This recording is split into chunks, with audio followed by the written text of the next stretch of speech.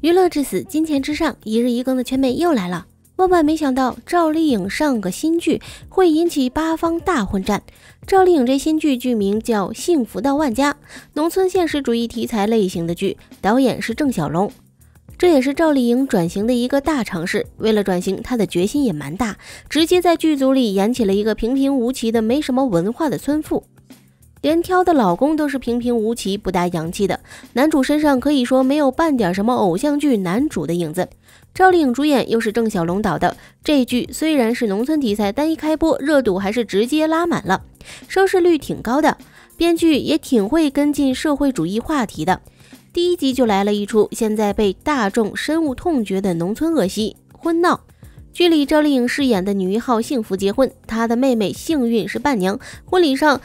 村书记的儿子直接扑在了张凯丽女儿张可盈演的幸运身上，对其上下其手。更惨的是，张可盈跟她男朋友哭诉这件事儿，她男朋友不仅没有安慰她，还要以此为由跟她分手。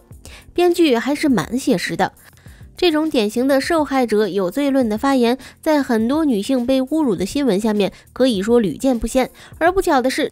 张可盈在剧里这个封建到骨子里的直男癌男友就叫大勋，更不巧的是赵丽颖对家杨幂的前男友就叫大勋。而这剧播出之后，一个关于大勋渣男的热搜词条，昨儿又悄悄登顶的微博热搜，于是，一场世纪大战就此打开。首先发难的是魏大勋的粉丝，魏大勋粉丝认为剧组是故意搞这么一出，在影射魏大勋是渣男。而且还在借秘密魏大勋分手一事，在给他们自己的剧搞营销，因为他们昨儿还买了一个“你跟大勋咋样了”的热搜。公正的讲，这个热搜确实很容易让人误解是魏大勋跟杨幂怎么样了，因为这个剧刚开播，一个小小的配角。还不足以直接就上了微博热搜。不过魏大勋情商还是可以的，事后在微博上发了两个表情包，打算圆圆场子，就这么过去了。怎料又被骂了。赵丽颖粉丝反而指责魏大勋蹭热度，说他上赶着认领，觉得自己主子被剧方利用来搞宣传，还被赵丽颖粉丝骂蹭热度的魏大勋粉丝，于是怒而反击。另一边，由于处于竞争关系。赵丽颖跟杨幂的粉丝一直视对方是死敌的。杨幂粉丝在看到你跟大勋咋样了这个热搜之后也炸了，认为赵丽颖方这样宣传新剧是在利用杨幂跟魏大勋的恋情做宣发，于是把赵丽颖骂了个狗血淋头。见势不妙，幸福到万家的编剧还出来道歉，并晒出编剧合同。从合同上看。剧本创作于二零一六年，我想编剧想表达的意思是，杨幂跟魏大勋二零一九年谈的恋爱，二零二一年分的手。他当时创作时并没有故意要影射魏大勋和杨幂的意思，但是这场轰轰烈烈的大撕叉并没有就此止步，撕到最后，杨幂粉丝甚至开始指责魏大勋，指责他上赶着回应，要不是跟幂幂谈了个恋爱，现在啥也不是，说他这是蹭杨幂热度。简而言之，在杨幂和赵丽颖眼里，魏大勋这一波不仅蹭了杨幂热度，还蹭了赵丽颖热度。怎么看魏大勋都实惨啊！跟幂幂谈恋爱的时候，幂幂粉丝都痛心疾首，幂幂这是在扶贫。但其实谈到现在分手了，他连个正式的名分都没有，幂幂自始至终都没有承认他。即便他俩拍到过好几次，但幂幂没有任何公开场合，哪怕提到他一个字。对比前夫哥刘恺威的待遇好的不止一星半点，刚谈恋爱，秘密就迫不及待官宣了，甚至在微博高调放言，他跟前夫哥秀的恩爱永远不会死。而轮到魏大勋，却是魏大勋想秀，秘密并不成全，只是在接受采访的时候，淡淡谈到自己正在期待自己彩虹。前段时间还被拍到跟一个小帅哥回家了，当时大家都以为秘密又交新欢了，把一众吃瓜群众激动到不行。但哪料，帅哥是他好姐妹郭敬明的私人助理。刘图、魏大勋跟前夫哥俩人尴尬同台，而且分手后，因为秘密是《密室大逃脱》的主要嘉宾，为了避免前情侣同台尴尬，魏大勋只能跟《密室大逃脱》彻底说再见了。可以说，他并没有因为跟秘密谈了场恋爱得到任何实质性的好处。秘密粉丝现在倒也没必要骂他骂这么狠。不过虽然没有名分，还被骂的魏大勋有点子惨。但是秘密这样处理恋爱方式，放到现在看，还是蛮值得娱乐圈广大恋爱脑上头的女明星们学习的。就是谈恋爱只图个开心，绝对不会因为恋爱影响自身事业。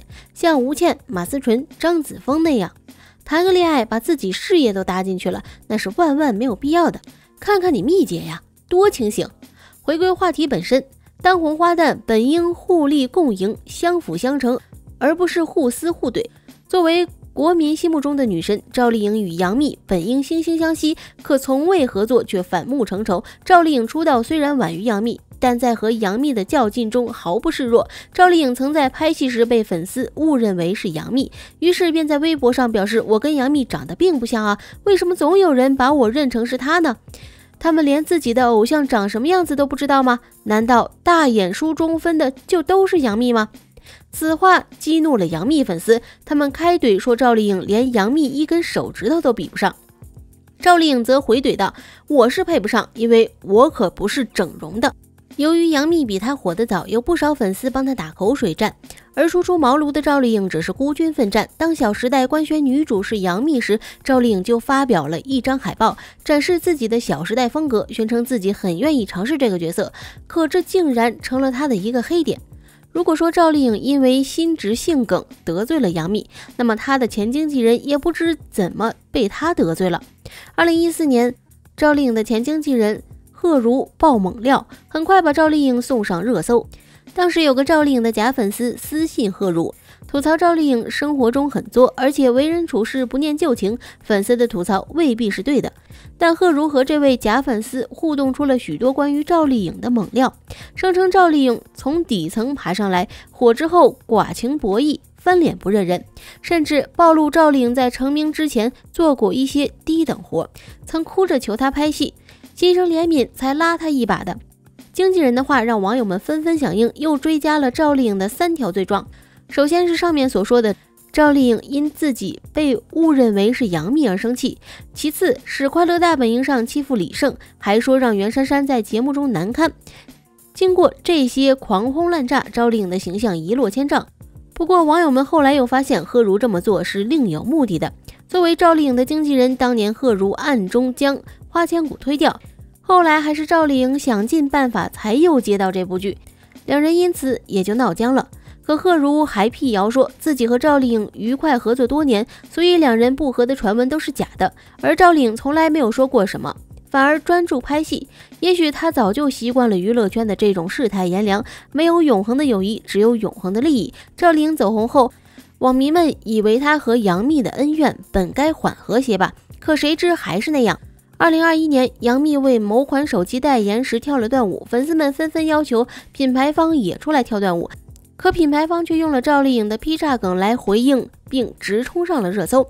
劈叉梗是赵丽颖就她怀孕一事回应外界发的微博，结果孩子生下的时日一对照便直接打脸。这其实也不算什么，但是用在这两个人身上似乎有些不妥，留下很多暗示和槽点。紧接着，赵丽颖在为某品牌代言时又高调的内涵起来，在介绍某款手机壳时特别强调手机壳如何轻奢华美。